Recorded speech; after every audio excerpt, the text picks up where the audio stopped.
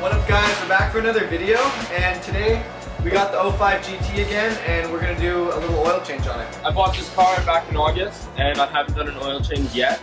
Put about 9,000 kilometers on it, so I thought I'd do it myself. So then kind of learning what to do and do it for later, do it again later. Hopefully he messes stuff up so we can teach you guys what not to do and yeah, you guys will see how it goes. Okay, so now let's get to what you'll need. You're gonna need a ratchet set, jack stands, a jack, oil, an oil catch band, an oil filter, and some Canadian Tire money.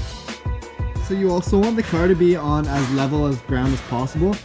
Ours isn't exactly level, but it's good enough, so we'll make do. Always remember to have your e-brake on and to block the wheels if you're gonna use a jack.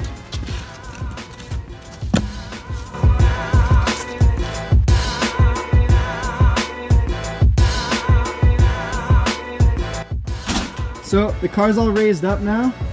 Um, we'll take this cap off here for the shotgun effect. Good. As you can see, the oil filter is right there. So it should be super easy for us just to go under the car and reach up. So there's the drain hole. Make sure you guys have your oil pan obviously right under where it is. Let's go Mifflin, put some muscle into it.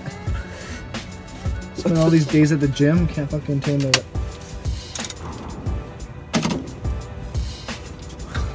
I quit.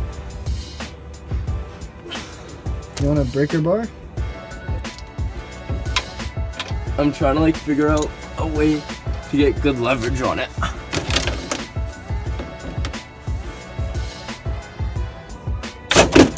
There we go. Beautiful. The oil finished dripping, we just put the plug back in, and now we're gonna take out the filter.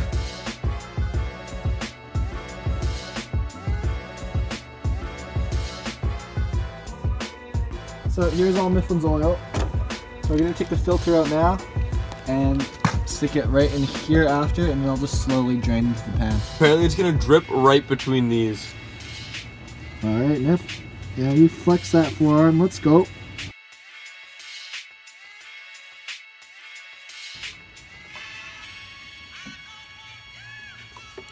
Yeah, stick it right in that spot and let it drain out now. So we're at the halfway point. Old filter's out. All the old oil's in there. Just gonna throw this new cane and filter in and then drop some royal purple in and we'll be good to go. Okay, so here's the filter. So even though it says it's pre-lubed, I'm gonna add a little bit of lube anyways. That way, just when you do take it off in the future, it'll be a little bit easier and it won't be stuck on, I hope. Just add a bit of that on here.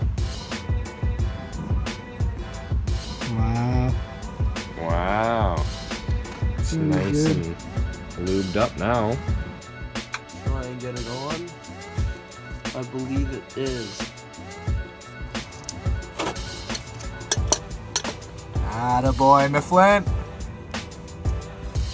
Okay, so we got the funnel in place, all ready to pour the oil in now. Yeah. And here we go. My car takes about six quarts of oil. Wow, look at that. She's thirsty. Here comes the big boy. Ooh. I love that feeling and that sound.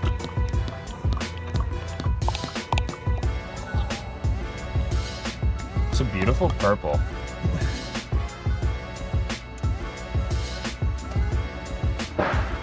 All my friends are wasted. Okay, so as you guys know, you can't just throw oil into the garbage, so we're gonna dump it all back into these empty containers and bring it over to Canadian Tire. Oh, don't fucking. You look at that? Perfect. Oh. Oh. No, that's pretty perfect. Right? Wow.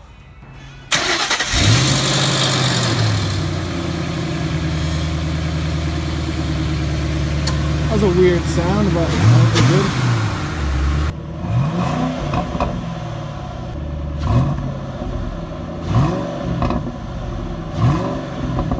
Okay guys, so that's how you change your oil. If you have any questions or comments, please feel free to leave them down below. If you like the video, leave a like, comment, subscribe, and we'll see you guys in the next one.